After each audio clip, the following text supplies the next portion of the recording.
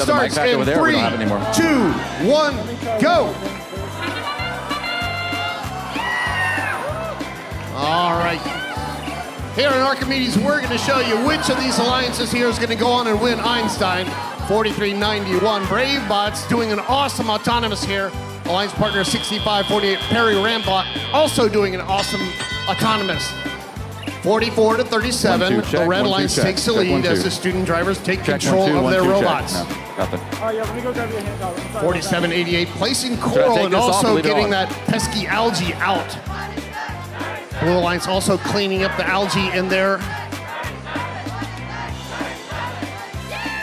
So we have one coral, uh, or correct, one algae placed for blue.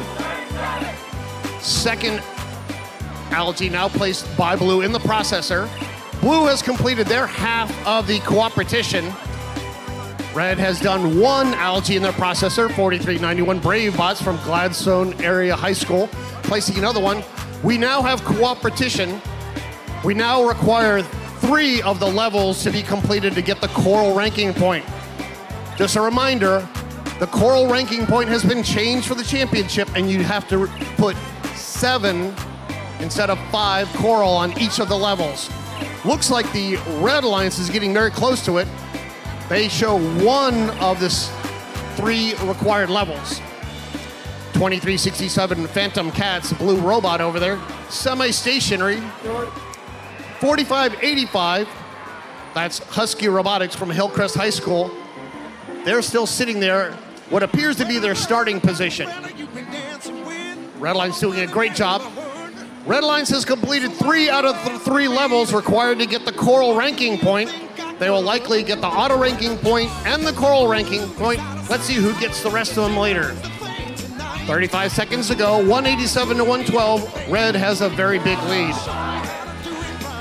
Blue Alliance deciding to play a little defense over here. 26-37 Phantom Cats from Palos Verdes Peninsula High School.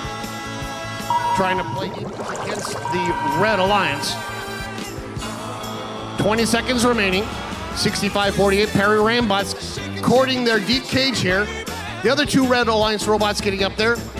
And this match ends in five, four, three, two, Check one, one, two, check. Check one, two. 63-40, Maris Manatees able to do a deep cage climb there at the very last second. Red Alliance wins. They get the three ranking points for the win.